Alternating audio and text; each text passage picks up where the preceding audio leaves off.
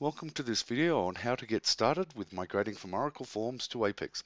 So the first thing I'm going to do is just go to apex.oracle.com and under Solutions you'll find a Modernizing Oracle Forms page which has a lot of great information on motivations, the Apex advantages, how to get started and what's next. Then if you go under Learn and Documentation you'll find right near the top here this migration guide. And this has a lot of excellent information in it, such as overview of the migration process.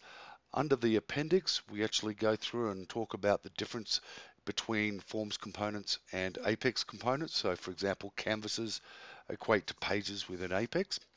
But we're actually going to go into chapter three here, converting an Oracle Forms application, how to convert your application. So basically what you need to do is get all of your executables, convert them into XML so that we can upload them into an Apex project. And if we go on to the next topic, it'll talk about the Forms to XML conversion tool. Now this is only available in Oracle 9i and above.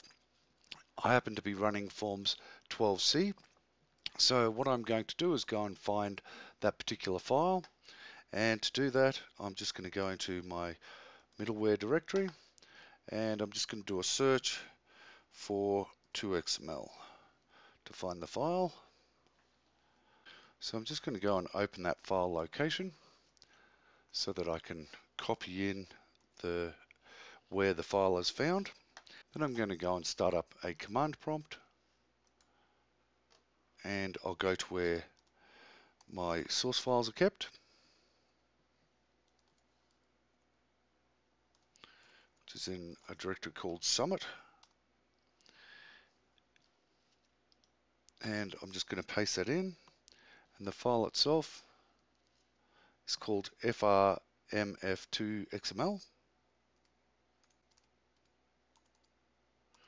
And then I'm just going to put in my FMB that I want converted. And just as easily as that, it's converted it to an XML. Now, because of the fact I'm running Forms 12, then you can actually do that directly from within inside the tool. So if you just go to File and then Convert, you can say Binary to XML, browse for your file. I'm going to select the customers form and I want to overwrite it and then I'm just going to convert. And you'll see that it saved this as customers underscore fmb.xml. So now what I'm going to do is go across into Apex and upload those XML files. So I'm just going to go back to my browser and I'll open up a new window and just go into Apex.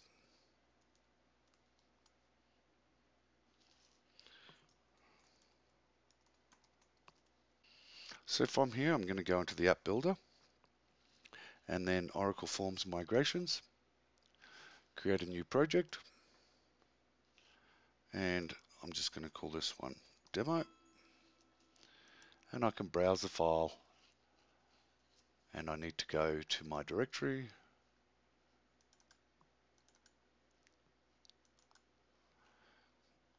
Now I'm just going to go ahead and create the project.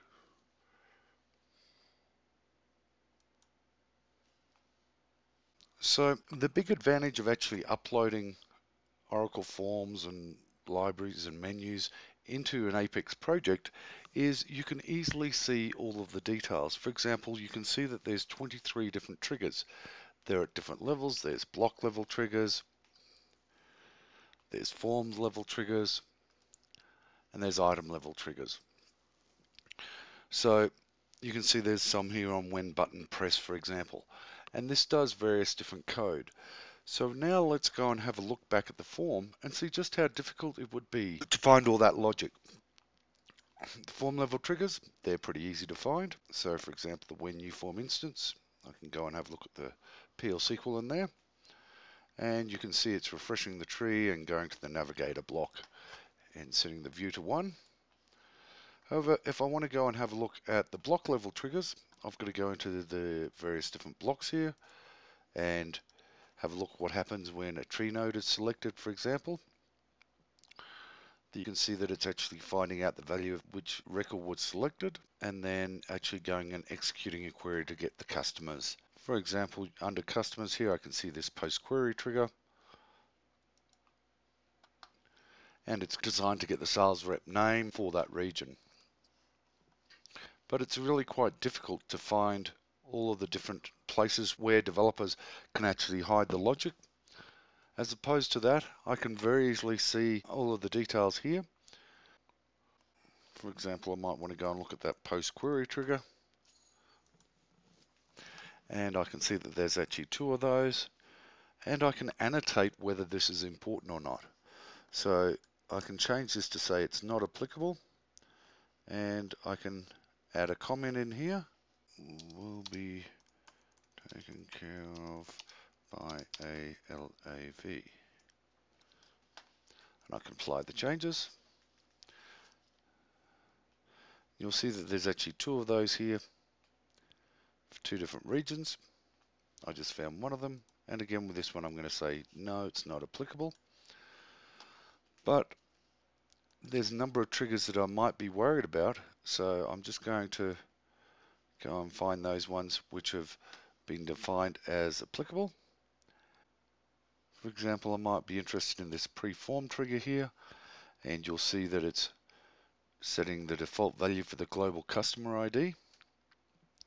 So this one I'm going to say is applicable, and I'm going to assign it to myself. So within Apex, we use application items rather than global variables.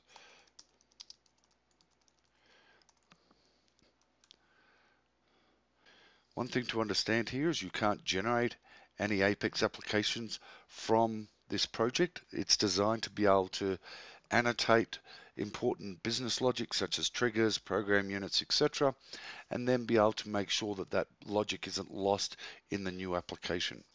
In other videos, I'll be showing you how to actually go and generate applications based on the underlying tables that you already have in your schema. Thank you.